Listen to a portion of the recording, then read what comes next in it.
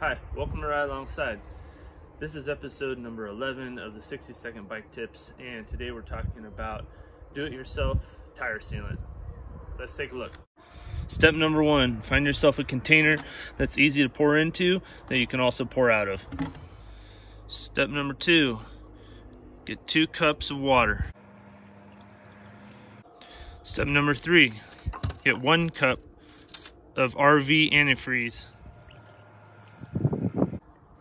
Step number four, one cup mold builder.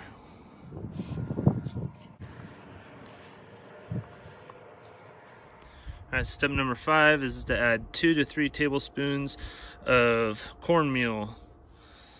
Step number six is to shake it up really good. Step number seven is to take a bottle of Stan's, cross out Stan's, write your name on it. Then pour the ingredients that you all mix together into this and you got your sealant. All right, so that's how to make do-it-yourself sealant in less than 60 seconds. I'm Nick from Ride Alongside. Thanks so much for watching. We'll have more content for you real soon. And just one more thing. When you're making this, it's a lot easier to make it when you're not using a laundry detergent bottle like I was. That made it way harder than it needed to be. Before, in the past, I've used Nalgene containers with a wide mouth the wider the mouth, the better, but you definitely want something that you can screw down so you can really shake it up.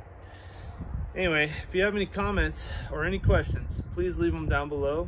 Like always, thank you so much for watching. If you haven't subscribed yet, please click the subscribe button and click the notification bell next to it so you'll be notified the next time we shoot a video. Again, like I said, I'm Nick. Thanks so much for watching. We'll have more videos for you real soon.